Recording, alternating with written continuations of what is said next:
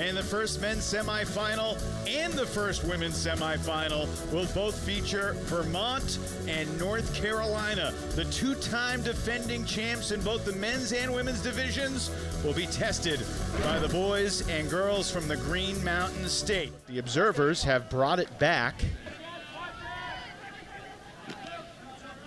As traditional as college ultimate, the do over works out well. Emphatic spike from Ben Dameron. He'll get the goal. After they played early this morning at 8.30 a.m., winning around 10, 10, 15. Now they're back 100 minutes later to take on the two-time reigning champs and looking long. Deep shot in the air, a layout catch for James Cairn. This is exactly what Declan Kervik wants to do. Program that maybe doesn't have quite as much structure or definition, but Vermont obviously is really onto something with what it's building with both teams. Rutledge Smith is open in the end zone. Singleton gets the assist. They beat Brown in the quarters this morning. They beat they'd have to beat Vermont today, and they could potentially see UMass in the final tomorrow. Zoodisc coming from behind against Texas moments ago as the deep shot goes up, looking for Carl Crawford, and Vermont is dialed in. There's a ton of talent, there's a ton of rigor, but at a certain point, sometimes their inability to adapt outside the confines of their system can undo that. Dameron floating it deep, back of the end zone, Singleton ruled inbounds for the goal. Oh, that was so close. Did he keep that toe down? Watching it live, I didn't think he did. Quick give and go with his teammate Standard. Vermont's had a couple of hucks, taking their time this time, and it works just as well. Kervik finishes it, and we're tied 3-3. They just had to find confidence and execute better. And the presence of mind to trust that is huge. Game's first turnover as Singleton comes up unsuccessful with a bid. First break chance belongs to Vermont. Deep shot. Ponzio sent it way too far. Great presence of mind by Dylan Hawkins to peel off his assignment and also be in the area. Granted, the throw was still too far. Singleton looking for Dameron. Double team chasing. Dameron reads it and skies them both. Flipping it to Fegans. And Dark Side delivers. Ben Dameron, big game, big plays. Keeps Dark Side in front man on man matchup defense. Thornton perseveres in the small space. Pretty good defense by Harmony on Kervik, and the more difficult throw denied by Roberts was striking the perfect balance between slightly poaching but still being able to make the play. Harmony's deep shot out of bounds, and Eli Standard ensures that it won't come back. Acrobatic big bid from Noel. And now another deep shot looking for Kervik, and it's McKnight. I beg your pardon, Pignoni. Get your defense back on the field, the fresh line. Second break chance of the point. Trowbridge ahead and looking long. Two targets there. McCleary able to make the catch. And Dark Side breaks to go up 5-3. What an effort from Brown this morning. Salute to Jacques Nissen, Leo Gordon, Jake Smart, but the Carolina defense can be suffocating. Well, that's indicative of the patience that this group has and how important it is to value possession over forcing an end zone shot. And right on cue, Andrew Lee gets a little too greedy. Dark side. Excellent with their fire calls. Over the top, tough throw. Crawford is there. Excellent vision and execution from Sickles. Basically no win. Physical defense from Payson on the mark.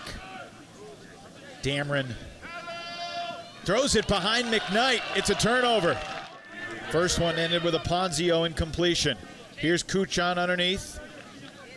Vermont native, but he began his college career at Oregon. And here's another deep shot. Chase Drinkwater versus Dylan Hawkins. And it is ripped down by Drinkwater for the score. And we are tied at five here in the first men's semi. Drinkwater putting Hawkins on a poster and letting him and the audience know about it. The break side. Yes, Ryan! Singleton low throw. Dameron runs it down. In the red zone, a floater and a bid won't work for Dark, uh, for Vermont as Smith scores again. Two goals, one assist for Rutledge Smith. A place the Juengsts know well. Anders out of eligibility. We'll see Ella in semifinal number two, and we'll see a dark side break chance right here. Dan Zhu back for Noel. Noel threw the break to McCleary, and he throws a turn here. That's essentially what it did in battling the Cal zone. Great effort from Kervik, but the swing was too far. Carolina, one for four on break chances. This is their fifth opportunity. Lee has an open man. Eli Freed unable to get there. UNC won its first title in 2015, won again in 2018, and then two more in 21 and 22. Only two programs in the history of Ultimate, men's Ultimate, that have won more than four championships. Wide open man deep, and there's no pick call. Dark side, looking to get to seven first.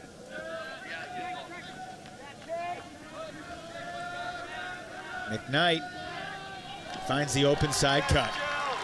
I mean, how many more times is Rutledge Smith just going to be able to charge to that fourth side cone? You need Billy Sickles and Crawford and Kervik and company to face more pressure. You're not necessarily going to stop them, but you're going to have to make them work harder against top matchups. Sickles over the top connects with Kervik. Intelligent switching there from the Vermont defenders with Singleton attacking up line.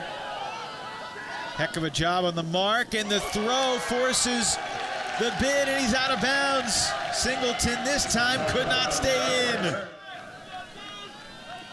Dark side with seven turnovers now in the half. Vermont has six. And now seven as well. Dark side was down at the half against Brown. Got a break at 10 all. And then holds the rest of the way to win 15-14. Hawkins looking long. Pignoni reads it perfectly. And Darkside takes half, 8-7.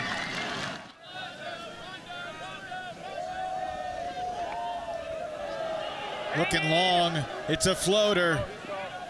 Contested and denied. But a foul called.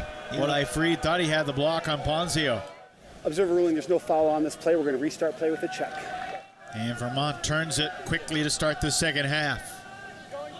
Looking for almost everything on the shot from McKnight, which is ripped away by Sickles. Sickles deep block. I love the competitiveness that we're seeing here. And it's Harley on the undercut. Broken once in the first half here against Vermont. But looking to pick up their second break. And sees control. Pignoni on the doorstep. Flips it into the end zone.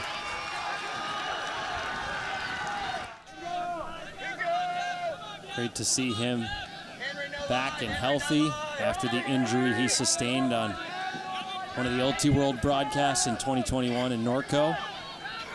And also great to see Seamus Robinson back competing for SLO. Great to see smooth offense from Vermont. Hawkins wide open. Dangerous throw, and it's incomplete. Looking for Dameron, but Drinkwater was right there. Drinkwater's going deep. He'll have a chance. Drinkwater, oh, what a! Sweeping the arm to tie the game.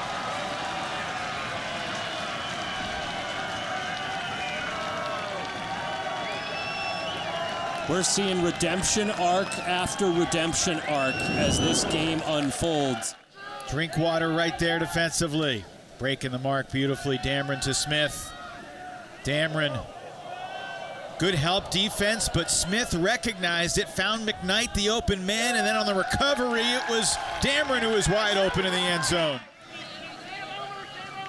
Only UC Santa Barbara in men's ultimate has won more titles than North Carolina. And Darkside will have a break chance here. Freudian slip on my part. It was John Sickles. His relative, Billy Sickles, the iconic Philadelphia figure in my brain. Deep shot. Oh, perfection. Pignoni puts it on a platter.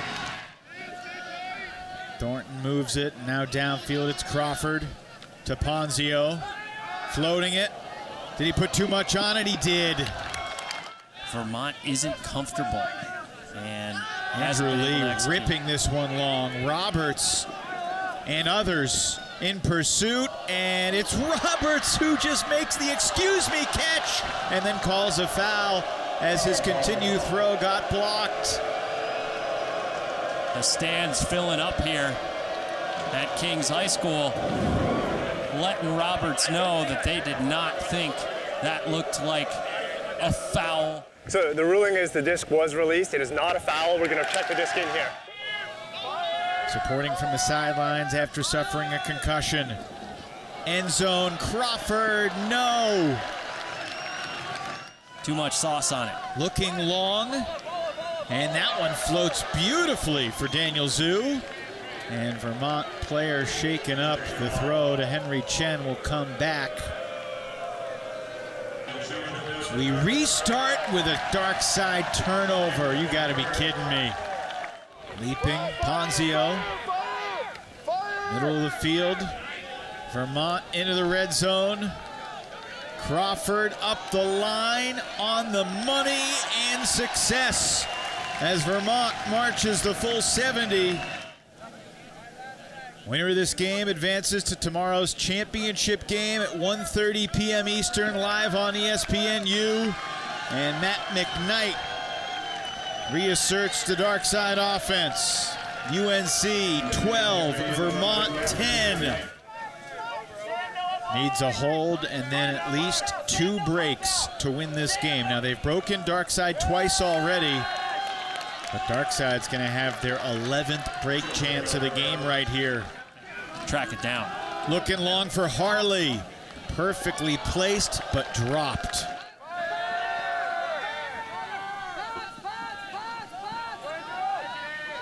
And an errant reset.